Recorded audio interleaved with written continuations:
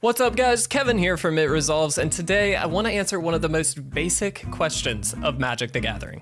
And looking through the channel's nearly 2,000 videos at this point, I realized we've never done like a fundamentals what is Magic, and I thought today that would be a really good place to start for all of you new players out there who may not know what this game is. Conceptually, Magic the Gathering is a role-playing game where you take on the persona of a Planeswalker, which is one of the most powerful beings in the universe. Planeswalkers are able to harness the power of the land around them to cast spells and conjure creatures to help battle other planeswalkers. There are five different colors that these lands can produce and that these planeswalkers can harness, including white, blue, black, red, and green. Now each of these colors has different strengths and weaknesses that adhere to different playstyles. As an example, red is about chaos and freedom, and is very very good at dealing with the opposing planeswalker's life total directly, but not so good at producing extraordinarily powerful creatures. As a Planeswalker yourself, it will be up to you to decide what colors, spells, and creatures you want to utilize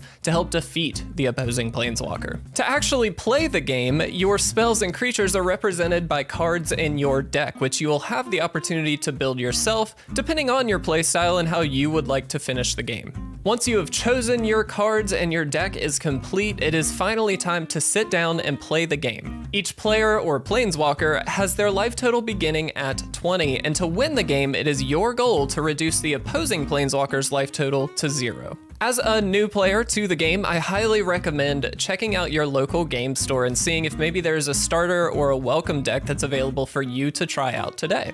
These welcome decks are very basic, but help you get a good grasp of each individual color, how it's represented, and how it plays the game. I highly encourage you as a new player to test out different decks, different playstyles, and different cards to find that perfect fit for yourself and see which playstyle meets your needs. I really hope that as a new player, this gave you a basic understanding of what Magic the Gathering is. If it did, leave a little thumbs up down below. I know we've got a lot of veteran players here, but I'd like to start doing some fundamental pieces that will hopefully bring new players to the game and give you a better understanding of what this is all about.